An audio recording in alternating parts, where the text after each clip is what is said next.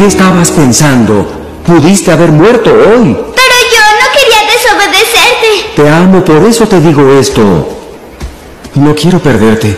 Lo sé. Si te pasara algo malo, no sé qué haría. Algún día tendré que partir y necesitaré que tú tomes mi lugar. Eres parte del gran ciclo, Ciclo de la vida.